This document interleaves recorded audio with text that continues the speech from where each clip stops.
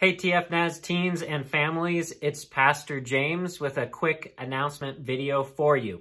You may have heard that over the next two Sundays, October 11th and 18th, we are taking a hiatus from in-person worship services because of the rise in COVID-19 cases and hospitalizations in Twin Falls County. Uh, but we will continue to have our worship services online on Facebook and YouTube in English at 11 and uh, in Swahili at 1 o'clock on Facebook.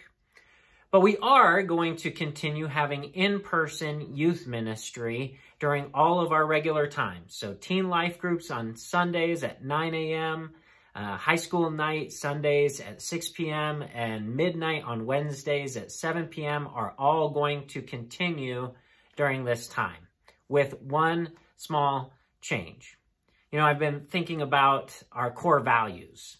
Uh, specifically, our, our core values, you matter and here to serve. And those two core values aren't just for us in our youth group and in our church, it's for our entire community. There are ways that God reminds us that all the people around us matter, that they are deserving of love and care.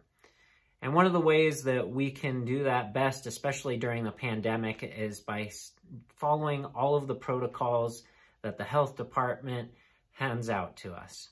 And so we've been doing a great job of social distancing, um, but I think that we can take one more step to love and care for people in our community, especially those who are at risk, those who have pre-existing conditions, and COVID-19 could be really detrimental to them.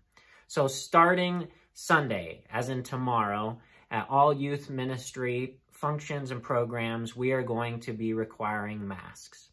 Now, I know that we don't want to do this. Masks are not fun to wear. We like being able to see each other's faces. But I think we can all agree that if there was a way that we can love and care for someone, just even if it was just one person who benefits from all of us doing a small thing like wearing masks, I think we would agree that is the most loving thing for us to do. And so that's what we're going to be doing from now on. So Bring your masks with you.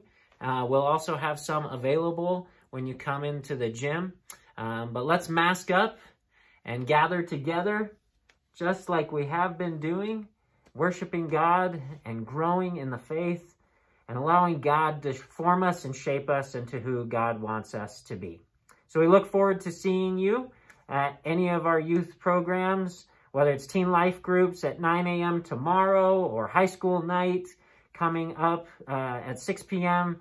tomorrow night or midnight Wednesday, 7 o'clock. We would love to see you there in your mask. Grace and peace.